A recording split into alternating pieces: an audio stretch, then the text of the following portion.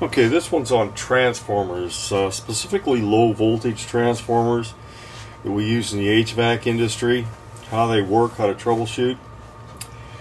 Uh, got one here, little 10 VA, that's for a humidifier. Uh, got a couple of 40 VAs, multiple voltage, and we've got a 60 VA. Uh, start with this one some things out of the way so we kind of look at this. Very simple transformer, black and white coming out of it. Uh, obviously black is hot and white is neutral, so it's probably going to be 120.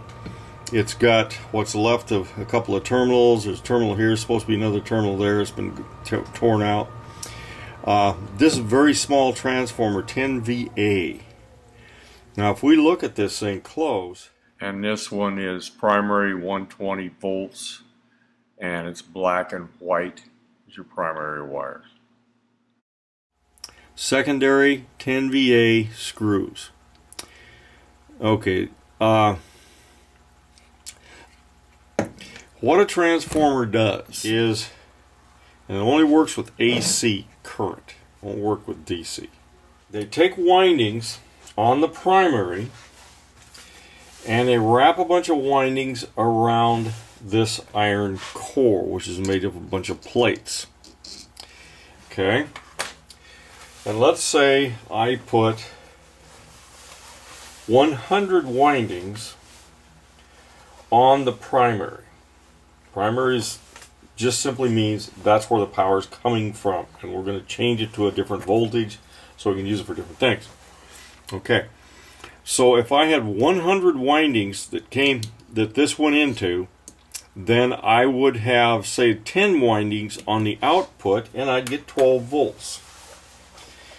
The number of windings comparatively determines the voltage.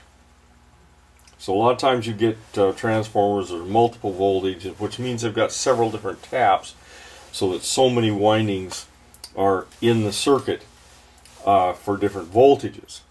This one's just simply one.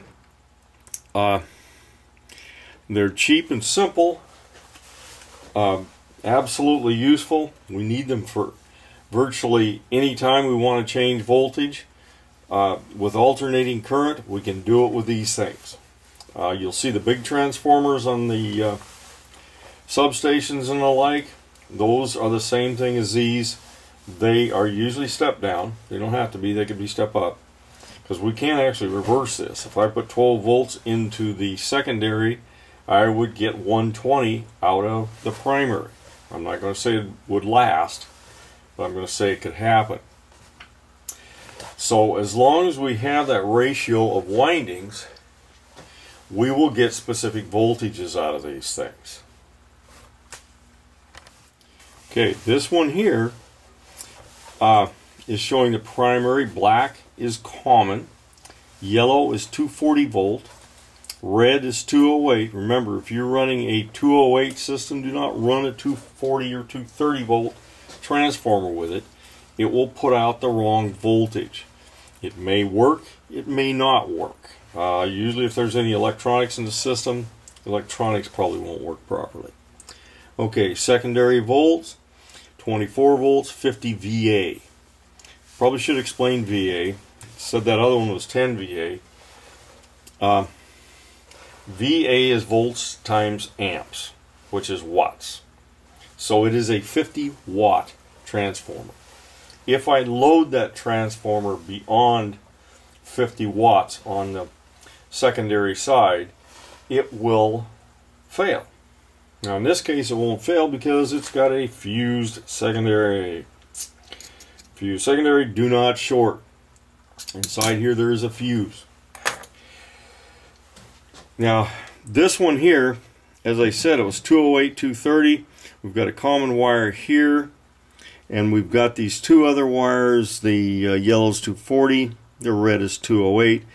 When you hook this up, and I'm going to say use these two wires, wire nut this one off. If you don't put a wire nut on it, the stupid thing will short to ground. Just don't just cut the wire off. Wire nut it. Good idea to tape wire nuts, by the way. and uh, that way it won't short to ground. If it shorts to ground, it'll take out the transformer. Now, here's another one. This one's got 47 wires on it, it looks like.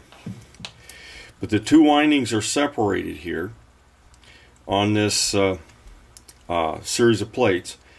And the uh, all this means with these 120, 208, and 240 just means there's different taps on the primary side.